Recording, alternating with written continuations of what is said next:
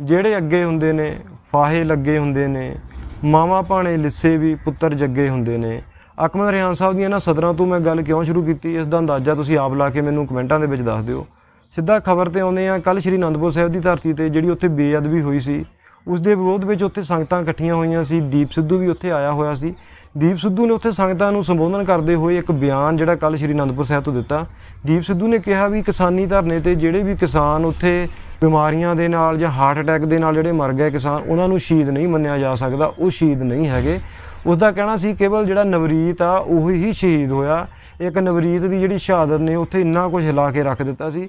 ਜੇਕਰ ਇਹੋ ਜਿਹੇ 40 ਹੋਰ ਲੋਕ ਹੁੰਦੇ ਜਿਨ੍ਹਾਂ ਦੀ ਇਹੋ ਜਿਹੀ ਸ਼ਹਾਦਤ ਹੁੰਦੀ, ਜਿਹੜੇ ਸ਼ਹੀਦੀ ਲਈ ਇਸ ਤਰ੍ਹਾਂ ਤਿਆਰ ਹੋਣ, ਤਾਂ ਹੁਣ ਦਾ ਕੀ ਦਾ ਕੀ ਹੋ ਜਾਣਾ ਸੀਗਾ। ਇਸ ਤੋਂ ਬਾਅਦ ਗੱਲ ਇਹ ਆਉਂਦੀ ਹੈ ਕਿ ਜਿਹੜਾ ਦੀਪ ਸਿੱਧੂ ਆ, ਇਸ ਨੂੰ ਬਹੁਤ ਲੋਕ ਸੁਣਦੇ ਨੇ, ਇਹਦੀ ਗੱਲ ਮੰਨਦੇ ਨੇ, ਖਾਸ ਕਰਕੇ ਜਿਹੜੀ ਸਾਡੀ ਯੰਗ ਜਨਰੇਸ਼ਨ ਆ, ਯੁਵਾ ਜਨਰੇਸ਼ਨ ਆ। ਇਸ ਗੱਲ ਤੋਂ ਬਾਅਦ ਜਿਹੜਾ ਸਭ ਤੋਂ ਵੱਡਾ ਜਿਹੜਾ ਨੁਕਸਾਨ ਇਹ ਹੋਇਆ ਇਸ ਬਿਆਨ ਤੋਂ ਬਾਅਦ, ਜਿਹੜੇ ਸਾਡੇ ਲੋਕ ਸੀ, ਉਹ ਦੋ ਫਾੜ ਹੋ ਗਏ। ਸਾਡੇ ਲੋਕਾਂ ਦੇ ਜਿਹੜੇ ਦੋ ਦੋ ਧੜੇ ਬਣ ਗਏ। ਇੱਕ ਦੀਪ ਸਿੱਧੂ ਵਾਲਾ, ਇੱਕ ਜਿਹੜਾ ਦੀਪ ਸਿੱਧੂ ਦੇ ਵਿਰੋਧ ਵਿੱਚ ਆ ਗਿਆ।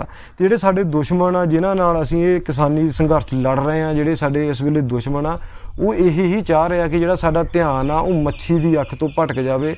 ਸਾਡੇ ਹੱਥਾਂ 'ਚੋਂ ਜਾਂ ਕਮਾਨ ਡੋਲ ਜਵੇ ਜਾਂ ਸਾਡਾ ਤੀਰ ਡੋਲ ਜਵੇ, ਉਹ ਇਹੀ ਹੀ ਕੁਝ ਚਾਹ ਰਿਹਾ ਤੇ ਅਸੀਂ ਇਹ ਜਿਹੜਾ ਇਹ ਕੁਝ ਆ, ਉਹਨਾਂ ਨੂੰ ਕਰਕੇ ਦੇ ਰਹੇ ਆ, ਅਸੀਂ ਦੋ ਫਾੜ ਹੋ ਰਹੇ ਆ। ਜਿਹੜਾ ਸਾਡਾ ਮੇਨ ਧਿਆਨ ਆ, ਕਿਸਾਨੀ ਬਿੱਲਾਂ ਤੋਂ ਹਟ ਕੇ ਕਿਸੇ ਹੋਰ ਪਾਸੇ ਜਾ ਰਿਹਾ, ਇਹੀ ਜਿਹੜੇ ਸਾਡੇ ਜਿਹੜੇ ਵਿਰੋਧੀ ਆ, ਉਹ ਇਹ ਚਾਹ ਰਹੇ ਨੇ। ਬਾਕੀ ਗੱਲ ਇਹ ਵੀ ਹੈ ਜੇਕਰ ਕੋਈ ਵੀ ਇਹੋ ਜਿਹਾ ਬਿਆਨ ਦੇਣਾ ਆ, ਸਾਨੂੰ ਥੋੜਾ ਇੰਤਜ਼ਾਰ ਕਰਨਾ ਚਾਹੀਦਾ ਸੀਗਾ। ਕੌਣ ਸ਼ਹੀਦ ਆ, ਕੌਣ ਨਹੀਂ ਸ਼ਹੀਦ ਆ, ਜੇਕਰ ਕੋਈ ਵੀ ਇਹੋ ਜਿਹਾ ਫੈਸਲਾ ਲੈਣਾ, ਜਦੋਂ ਅਸੀਂ ਧਰਨਾ ਇਹ ਜਿੱਤ ਜਾਵਾਂਗੇ, ਵਾਪਸ ਪੰਜਾਬ ਆ ਜਾਾਂਗੇ, ਅਸੀਂ ਫਿਰ ਇਹੋ ਜਿਹਾ ਕੋਈ ਵੀ ਬਿਆਨ ਆ ਕੁਝ ਵੀ ਕਰ ਸਕਦੇ ਆ, ਕੋਈ ਲੀਡਰ ਨੇ ਜੇ ਕਿਸੇ ਨੇ ਕੋਈ ਗਲਤੀ ਕੀਤੀ ਆ ਉਸ ਨੂੰ ਸਜ਼ਾ ਦੇਣੀ ਆ ਕੁਝ ਵੀ ਕਰਨਾ, ਅਸੀਂ ਇਹ ਧਰਨਾ ਜਦੋਂ ਮੁੱਕ ਗਿਆ, ਅਸੀਂ ਜਿੱਤ ਗਿਆ, ਉਦੋਂ ਅਸੀਂ ਇਹ ਸਾਰਾ ਕੁਝ ਕਰ ਸਕਦੇ ਆ। ਕਿਉਂਕਿ ਹਜੂਮ ਦੀ ਜਿਹੜੀ ਤਾਕਤ ਹੈ ਉਹ ਸਾਡੇ ਲੀਡਰਾਂ ਨੂੰ, ਸਾਡੇ ਮੰਤਰੀਆਂ ਸਾਰਿਆਂ ਨੂੰ ਪਤਾ ਲੱਗ ਚੁੱਕੀ ਹੈ, ਚਾਹੇ ਉਹ ਕਿਸਾਨ ਲੀਡਰ ਹੋਣ।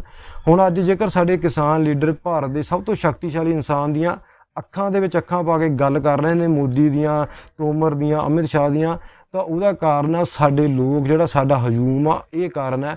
ਤੇ ਸਾਡੇ ਲੀਡਰ ਇਹ ਵੀ ਜਾਣਦੇ ਨੇ, ਜੇਕਰ ਅਸੀਂ ਕੋਈ ਗਲਤੀ ਕਰਾਂਗੇ ਤਾਂ ਸਾਡੇ ਜਿਹੜੇ ਲੋਕ ਆ, ਜਿਹੜਾ ਅਸੀਂ ਇੰਨਾ ਇਕੱਠ ਕਰਦੇ ਆ ਹਜੂਮ ਆ, ਇਹ ਸਾਨੂੰ ਪੰਜਾਬ ਗਏ ਤੇ ਖਾ ਕਰਕੇ ਰੱਖ ਦੂੰਗਾ ਤੇ ਹੁਣ ਇਸ ਤੋਂ ਬਾਅਦ ਦੂਜੀ ਗੱਲ ਇਹ ਆ ਵੀ ਇਸ ਤੋਂ ਬਾਅਦ ਕਈ ਜਿਹੜੇ ਲੋਕ ਆ, ਇਸ ਚੀਜ਼ ਦੇ ਹੱਕ ਦੇ ਵਿੱਚ ਆਏ ਨੇ, ਕਈ ਲੋਕ ਇਸ ਦੇ ਵਿਰੋਧ ਵਿੱਚ ਆਏ ਨੇ। ਕੁਝ ਲੋਕਾਂ ਦਾ ਇਹ ਕਹਿਣਾ ਸੀਗਾ ਵੀ ਜਿਹੜਾ ਦੀਪ ਸਿੱਧੂ ਨੇ ਸਹੀ ਕਿਹਾ ਕੁਝ ਸਿੰਗਰ ਆ, ਜਿਵੇਂ ਰਣਜੀਤ ਬਾਵੇ ਦਾ ਵੀ ਬਿਆਨ ਆਇਆ। ਉਸਨੇ ਵੀ ਕਿਹੜਾ ਇਹ ਦੀਪ ਸਿੱਧੂ ਨੇ ਬਿਲਕੁਲ ਗਲਤ ਕਿਹਾ। ਉਸਨੇ ਵੀ ਕਿਹਾ ਜਿਹੜਾ ਇੱਕ ਵਾਰੀ ਘਰੋਂ ਨਿਕਲ ਗਿਆ ਮੋਰਚੇ ਲਈ, ਸੰਘਰਸ਼ ਲਈ ਨਿਕਲ ਗਿਆ, ਉਹ ਸ਼ਹੀਦ ਹੀ ਮੰਨਿਆ ਜਾਊਗਾ ਕਿਸਾਨ।